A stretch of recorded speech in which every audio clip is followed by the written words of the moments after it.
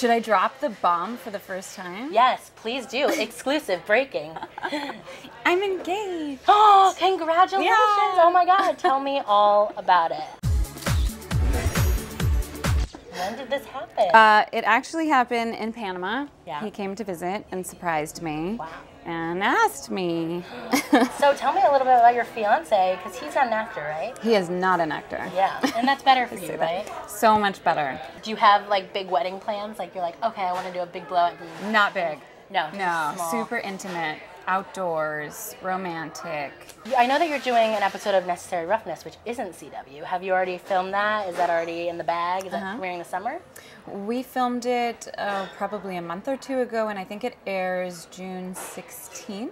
That's so soon. It's coming up. Yeah. like- I think that's in a week. yeah. Yeah. And you're on two episodes. She's a woman too. She's a woman.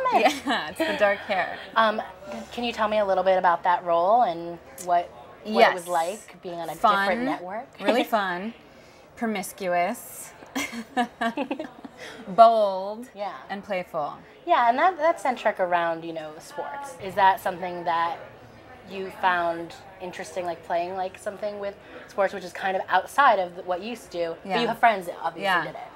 I think it's it's definitely kind of cool. It's so funny because I grew up watching sports because my stepdad played uh, football with the New York Jets, Oh, cool. and he's in the Gator Hall of Fame. So every Monday night was Monday Night Football. Yeah. Growing up, and then as I got older, I sort of found the things I love to do and got out of watching sports so much. Yeah. But now I have a man who's like full on Indiana Pacers, Colts fan, and it's always on.